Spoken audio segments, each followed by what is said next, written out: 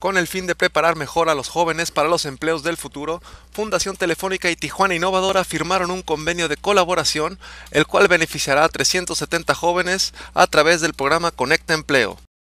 La directora de Fundación Telefónica México, Nidia Chávez, explicó que el programa ofrecerá formación profesional en temas de emprendimiento y marketing digital a cualquier joven que se registre a través del portal www.fundaciontelefónica.com.mx. El principal beneficio es formar a jóvenes en empleos que aún no existen o no están tan, este, digamos, posicionados dentro de las organizaciones, pero que son los, los, empleos del futuro. Conecta Empleos impartirá gratuitamente en dos modalidades, una presencial y otra en línea, vía cursos masivos y abiertos en Tijuana como en Mexicali, con una duración de 70 horas para después canalizar a los jóvenes con las empresas participantes.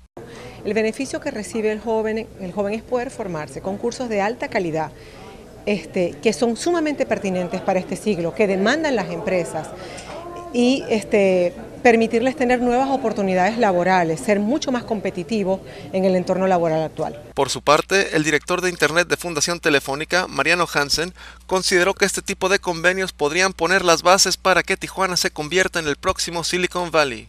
Yo creo que hay dos focos en México principalmente que hay que ir siguiendo en los próximos meses y años. Uno es Guadalajara, otro es Tijuana.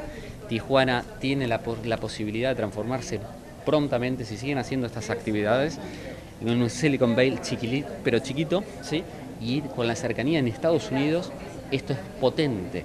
Eh, hay que empezar a traer las empresas que se dedican a a la gestión de conocimiento, a la innovación a Tijuana. Además, Hansen dijo que los jóvenes de Tijuana deben estar preparados para los cambios digitales y así estar bien posicionados. Sí, no, lo, que estamos lo que estamos haciendo justamente desde Fundación Telefónica es tratando de capacitar a la gente hacia el futuro, ¿sí?